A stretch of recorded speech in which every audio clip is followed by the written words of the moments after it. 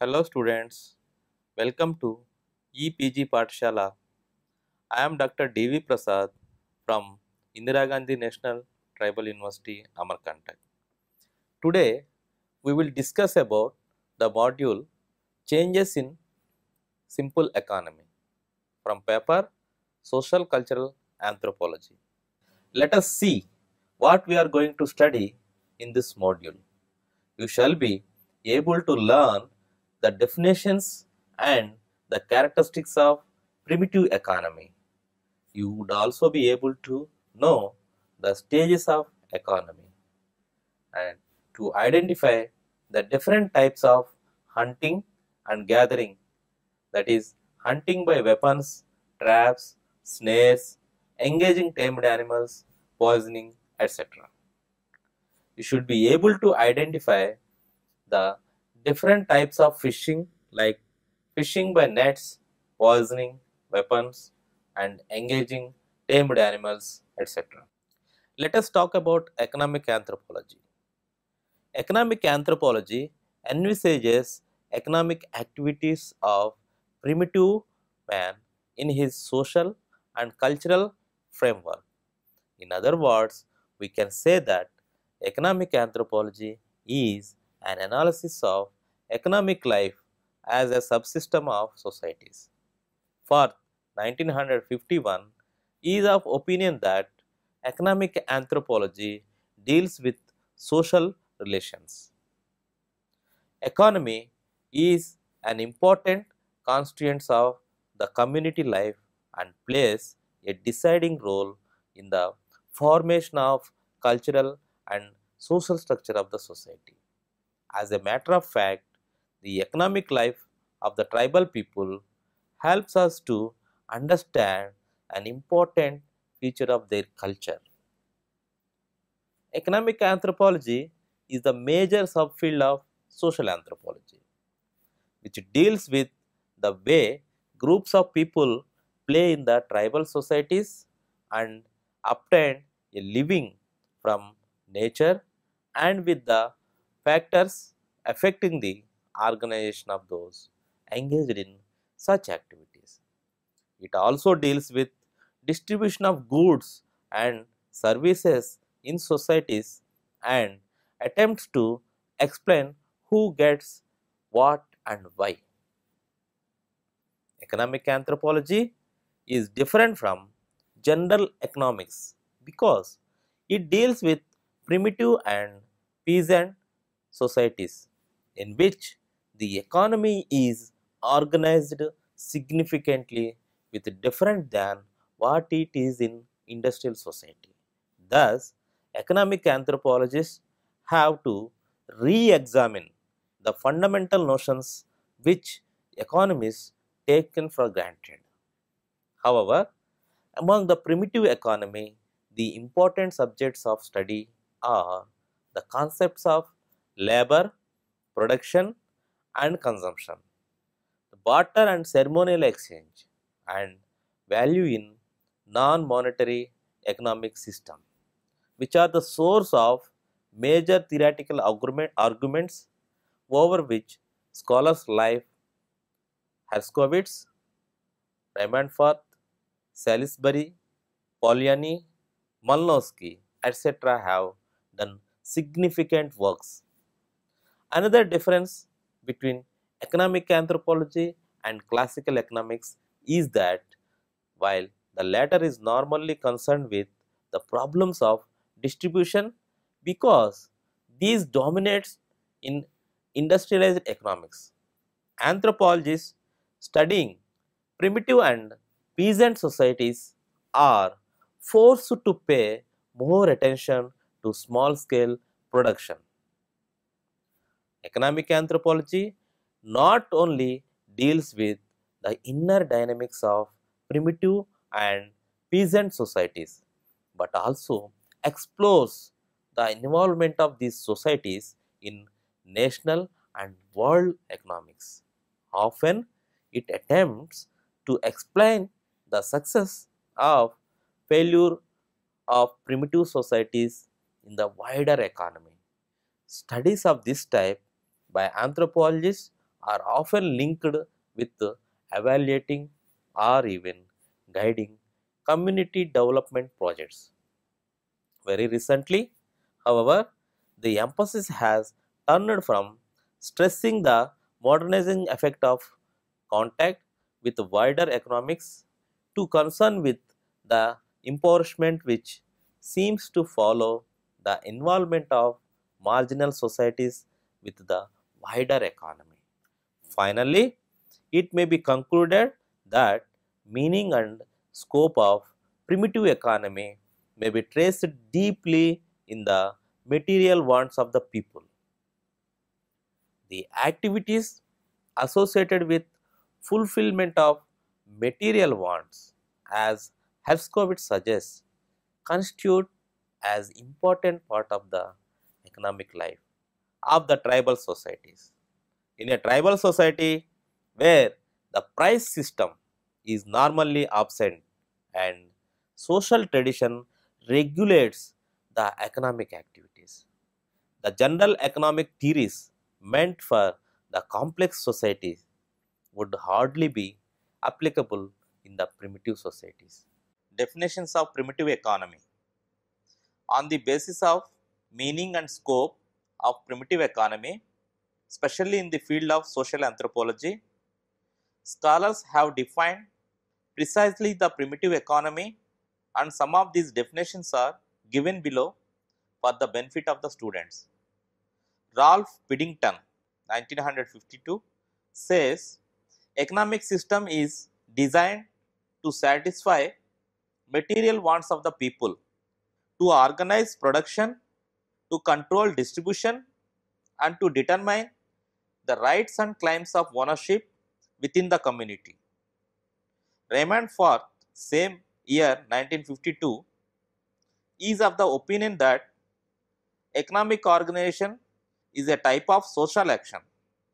It involves the combination of various kinds of human services with one another and with goods in such a way that they serve the given ends.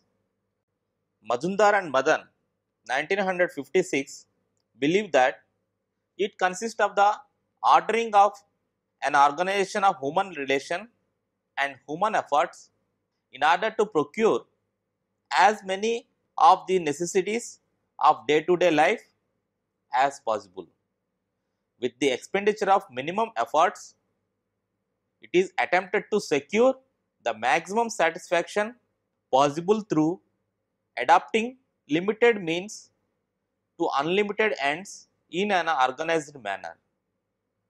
John Dalton 1971 argues that all societies have structured arrangements to provide the material means of individual and community life.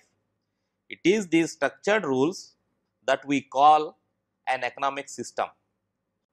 Characteristics of the primitive economy. There are many characteristics of the primitive economic system which have been enumerated by some of the scholars which are given below for the benefit of the students. According to Dalton, there are three important characteristics of primitive economy. They are mainly small economy, simple technology, geographical or cultural isolation. Small economy. It is this smallness of scale which is fundamental characteristic of primitive life. The most resources, goods and services, transactions take place within a community of persons numbered in hundreds or thousands. There are two other factors which make tribal economic small in scale. Frequently one or two staple items comprise usually large proportion of total produce. It is common for these important staples to be produced within the small framework of tribe. A relatively small number of goods and services is produced and acquired. Simple technology compared to the industrialized economics. The tools are either made by the user himself or acquired free from a craftsman or from a manufacturing group. Geographical or cultural isolation. Majumdar and Madan have found nine important traits of a primitive economy as noticed in the tribal India and elsewhere. Hunting and gathering. Hunting and food gathering is the oldest source of subsistence. Societies that depend on hunting and gathering for their basic subsistence were fairly common as late as the early 20th century. Australia was represented by little else. The western half of North America was a little earlier than that. The preserve of people who gained their livings by hunting and gathering. The northwest coast depend on fishing and berries. The California Indians on acorns. Fishing. In the remote past of prehistoric days, men carried on his search for food and land by hunting. Gradually, as hunting was very difficult for them owing to various reasons, man took up his search on aquatic creatures like a fish. This was first evidenced during Upper Paleolithic period when people extensively used harpoon heads with barbs Magdalene times. In kitchen midden cultures of Mesolithic period, man also used to consume aquatic creatures like mollusks extensively. Fishing was first started by bare hands. A number of tribals practice it even today, especially in paddy fields during rainy season. But as fishes slip away from hand, a man devised various fishing methods to catch fish more easily. These fishing methods can be broadly divided into five major divisions fishing by weapons, fishing by traps, fishing by nets, fishing by poisoning, fishing by engaging tamed animals. The Indians of the Great Basin country of Nevada and Idaho on grass seeds and game. Plain Indian culture depended almost solely on the buffalo as the basis of subsistence. In Africa, the hunters and gatherers range from the pygmies of the Ituri forest to the bushmen of the Kalahari desert. Most South American Indians depended on hunting, though in many areas also grow manioc. Whatever might be the evolutionary development of hunting techniques, we can classify the hunting methods of recent primitives under the following four categories. First of all, hunting by weapons by using techniques of assault and hunting by traps and snares. It will use the techniques of trapping and snaring. And hunting by traps and snares, they will have different types of traps to hunt the animals in the forest. When hunting by engaging tamed animals, for example, techniques of enlisting animal aid. In some societies, the dogs will be trained how to catch the game in the forest and some societies there may be some other kind of animals. Then comes to hunting by poisoning and there are different types of techniques of poisoning in tribal societies. For example, that they use some of the herbs or nuts and they mash it and they will mix in the water so that fish will be come outside and they can easily catch. Cultivation In Cohen's typology, the three adaptive strategies based in food production in non-industrial societies are horticulture, agriculture and pastoralism. In non-western cultures, as is also true in modern nations, people carry out a variety of economic activities. Each adaptive strategy refers to the main economic activity. Pastoralism, for example, consume milk, butter and meat from the animals as their mainstay of their diet. However, they also add grain to the diet by doing some cultivating or by trading with neighbors. Food producers also may hunt or gather to supplement a diet based on domesticated species. Throughout the world, there are to be found peoples whose basic technique for exploiting the environment is to keep animals. These animals may be reindeer among the Lapps or northern Siberians. They may be goats in Morocco and along the northern edges of the Sahara, they may be the cattle of the Near East or of much of Africa. They may be the camels that are found in Arabia and the Sahara. They may be horses as was the case in the Great Plains area of North America. They may be pigs in Melanesia and in South America. There are heads of Llama. Foraging. Until 10,000 years ago, people everywhere were foragers, also known as hunter-gatherers. However, environmental differences did create substantial contrasts among the world's foragers.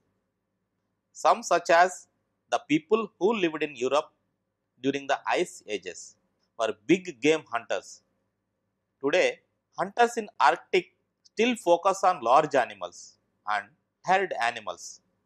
They have much less vegetation and variety in their diets than do tropical foragers. In general, as one moves from colder to warmer areas, there is an increase in the number of species. The tropics contain tremendous biodiversity, a great variety of plant and animal species, many of which have been used by human foragers. Agriculture Agriculture is cultivation that requires more labor than horticulture. Thus, because it uses land intensively and continuously. The greater labor demands associated with agriculture reflect its common use of domesticated animals, irrigation or terracing. Implements for loosening the soil. We find a series of operations like plowing or tilling the soil, leveling, manuring, preparation of seed, transplanting, weeding, harvesting are involved in the cultivation of crops of which first one is of utmost importance. The tilling the soil to loosen the earth is done by different people in different ways. The Naga and the Chakma use it during their cultivation by a hoe or dao. The Mal Paharia by simple digging stick, the Kharia and the African Bushman by composite digging stick and so on. Horticulture Horticulture and agriculture are two types of cultivation found in non-industrial societies. Both differ from the farming systems of industrial nations like United States and Canada, which use large land areas, machinery and petrochemicals. According to Cohen, horticulture is cultivation that makes intensive use of none of the factors of production that is land, labor, capital and machinery. Horticulturists use simple tools such as hoes and digging sticks to grow their crops. Their fields are not permanently cultivated and life follow for varying lengths of time. horticulture often involves slash and burn techniques. Here, horticulture is clear land by cutting down and burning forests or bush by setting fire to the grass covering a plot. The vegetation is broken down, pests are killed, and the ashes remain to fertilize the soil. The crops are then sown, tended, and harvested. Use of the plot is not continuous. Often, it is cultivated for only a year. This depends, however, on soil fertility and weeds which compete with cultivated plants for nutrients.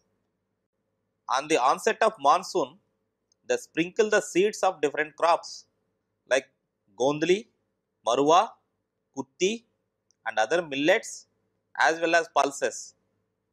Oil seeds, tobacco and maize seeds are also sown by broadcasting method. With the advent of winter, they harvest their crops. No artificial irrigation, no man- manuring is done for the sort of cultivation. The ashes of burnt bushes serve as auto manure to the soil. After doing this sort of cultivation in a particular tract for two or three consecutive years, the shifting hill cultivators have to shift to some such places in the vicinity to operate the same type of cultivation. Is estimated that about 11 percent of the total tribal population in India practice such type of cultivation by slash and burn method. Shifting hill cultivation. This sort of primitive cultivation is known by different names in different places. The Juang of Orissa and also the Andhra Pradesh tribals call it Podu. In Assam and Tripura, the tribals call it Jhum. In Madhya Pradesh, it is known as Bevar, Dahiya or Penda. In North Odisha, it is known as Rama, Dahi or Bringa. The Garo, Khasi, Defle, Naga, Abor, Mishmi, Riyang and the board of northeastern region practice such type of cultivation. It is known to the Gond of Bastar, the Korwa of Bihar claim it to be their traditional cultivation. The Reddis of South India still practice such type of primitive cultivation. Digging stick, pick and spade are the implements for loosening the soil used by the primitive man. A change took place with the introduction of plough which makes continuous furrowing. There is no record of its origin except a few engraved pictures in the prehistoric walls of Egypt and Babylonia. For this reason, we do not have still any true concept about the evolution of plough. By shifting cultivation, we mean a type of primitive cultivation which is generally done in hilly forested tract for 2 to 3 consecutive years and is then left abandoned as the soil may lose fertility. This cultivation is also known as slash and burn method of agriculture. For the Indian tribals, it seems to be an age old practice. A particular tract is selected for his purpose. Trees and ungrowths are felled, sparing some tall trees. This clearing business starts in the month of January and felled trees and bushes are left for several days to be dried in the sun and the tribals set fire to these dried wooden branches. Then they try to till the soil with a digging stick or hoe, but not as rigorously as done by the plough cultivators on the plains. An irrigated field is a capital investment that usually increases in value. It takes time for a field to start yielding. It reaches full productivity only after several years of cultivation. The Ifugao, like other irrigators, have farmed the same fields for generations in some agricultural areas, including the Middle East. However, salts carried in the irrigation water can make fields unusable after 50 or 60 years. Terracing Terracing is another agricultural technique the Ifugao have mastered. Their homeland has small valleys separated by steep hillsides. Because the population is dense, people need to farm the hills. However, if they simply planted on the steep hillsides, fertile soil and crops would be washed away during the rainy season. To prevent this, Ifugao cut into the hillside and build stage after stage of terraced fields rising above the valley floor. Springs located above the terrace supply their irrigation water. The labor necessary to build and maintain a system of terraces is great. Terrace walls crumble each year and must be partially rebuilt. The canals that bring water down through the terraces also demand attention. Domesticated animals. Many agriculturalists use animals as means of production for transport as cultivating machines and for their manure. Asian farmers typically incorporate cattle or water buffaloes into agricultural economies based on rice production. Rice farmers may use cattle to trample pre-tilled flooded fields, thus mixing soil and water prior to transplanting. Many agriculturalists attach animals to plow and harrows for field preparation before planting or transplanting.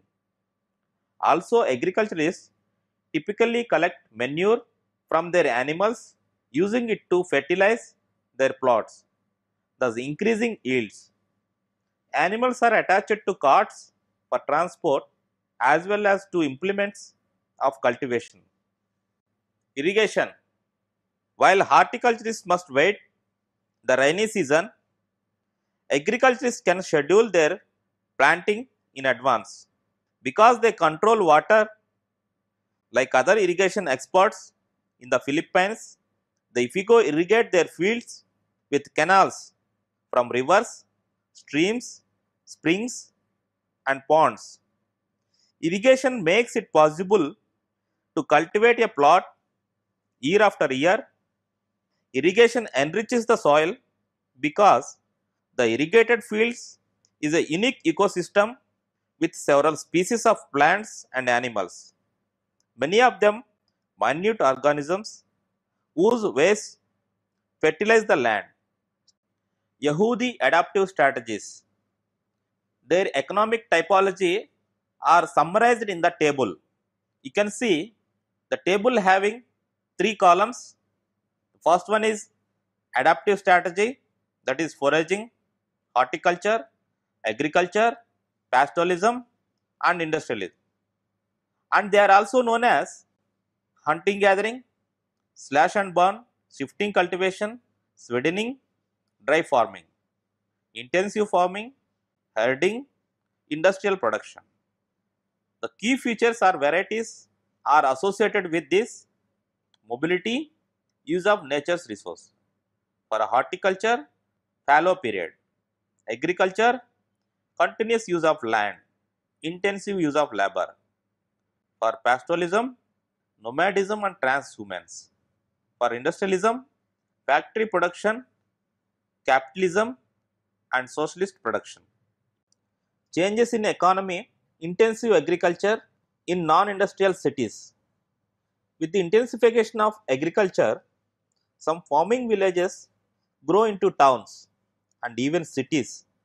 In these larger population centers, individuals who had previously been engaged in farming were free to specialize in other activities.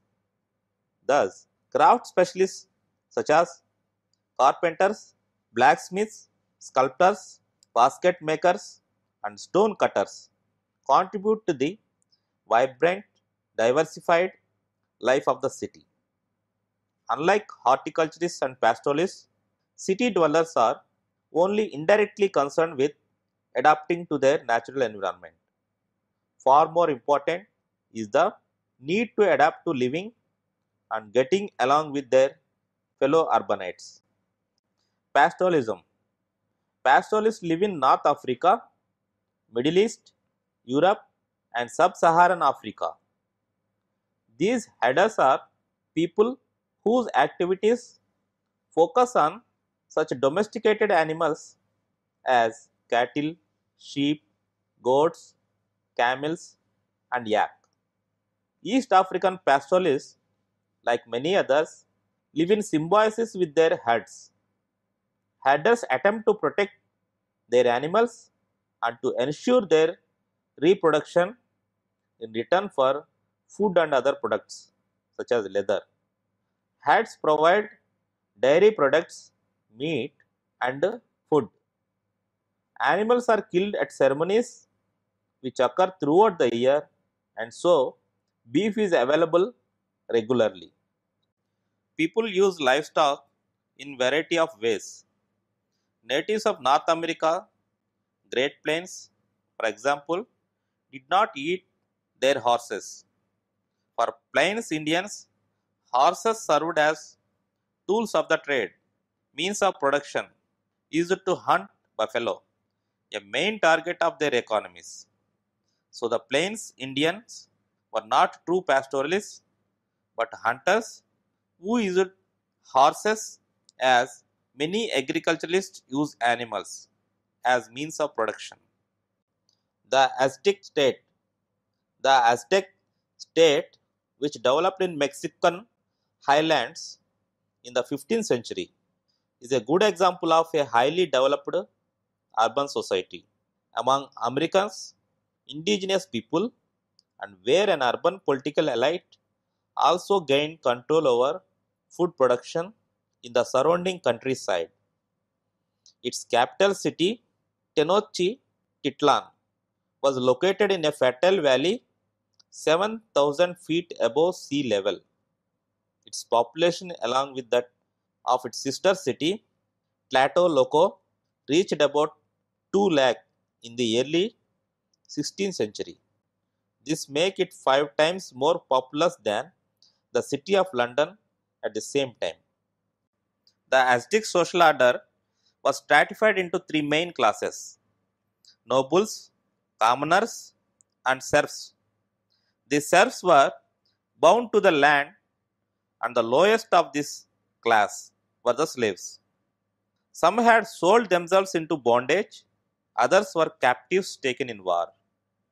The state was governed by an absolute monarch assisted by a large number of government officials who oversaw various functions such as maintenance of the tax system and courts of justice, management of government storehouses, and control of military training.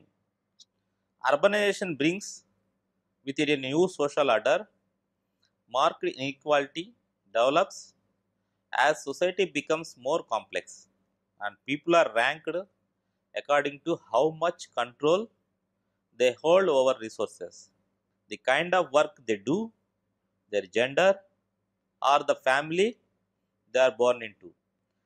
As social institutions cease to operate in simple face to face groups of relatives, friends, and acquaintances, they become more formal and bureaucratic with specialized political institutions. With urbanization came a sharp increase In the tempo of human cultural change, writing was invented, trade intensified and expanded. The wheel and the sail were invented. Metallurgy and other crafts were also developed. In early cities, monumental buildings such as royal palaces and temples were built by thousands of men, often slaves taken in war. These feats of engineering still amaze modern architects and engineers. The inhabitants of these buildings, the ruling class composed of nobles and priests, formed a central government that dictated the social and religious rules to be followed and carried out by the merchants, craft specialists, warriors, servants, and other city dwellers. Throughout the 1800s and 1900s, this resulted in large scale industrialization of many societies.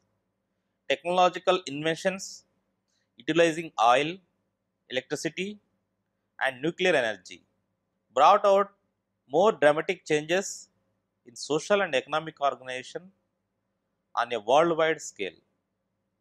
In the late 20th century, the electronic digital revolution made the production and distribution of information the center of economic activity in some wealthy societies. So, students, let us summarize what we have learned in this module. Economic anthropology is the major subfield of social anthropology, which deals with the way group of people play in tribal societies and obtain a living from nature and with the factors affecting the organization of those engaged in such activities. It also deals with the distribution of goods and services in societies and attempts to explain who gets what and why. However, among the primitive economy, the important subjects of study are the concept of labor, production and consumption, barter and ceremonial exchange, value in non-monetary economic systems, etc., which are the source of major theoretical arguments over which scholars like Herskovits, Raymond Firth, Salisbury, Polanyi and Malinowski etc. have done significant works. On the basis of these meanings and scope of primitive economy, especially in the field of social anthropology, scholars have defined precisely the primitive economy and some of these definitions are given by Ralph Piddington, Raymond Firth, Madan and Majumdar, George Dalton and for the benefit of the students. In brief, it can be said that the concept and meaning of economic system with special reference to the tribals may be defined that economic system may have two important things that is the mode and structure of production and its relations and the process of distribution exists and operating in a given social political setup. The mode of production implies techniques and organization of economic activities relating to production. Some anthropologists believe that man has possessed in early days through four main stages of livelihood that is hunting and gathering, fishing, pastoralism and agriculture. Until about 200 years ago, human societies all across the world had developed a cultural infrastructure based on foraging, horticulture, agriculture, pastoralism, crafts, trade or some combination of these. This changed with the invention of the steam engine in England which brought about an industrial revolution that quickly spread to other parts of the globe. Machines and tools powered by water, wind and steam followed by oil, gas and the diesel fuel, replaced human labor and human tools, increasing factory production and facilitating mass transportation. Throughout the 1800 and 90s, this resulted in large scale industrialization of many societies. Technological inventions utilizing oil, electricity and nuclear energy brought about more dramatic changes in social and economic organization on a world scale since the 1940s. In the late 20th century, the electronic digital revolution made the production and distribution of information the center of economic activity in some wealthy societies. Thank you.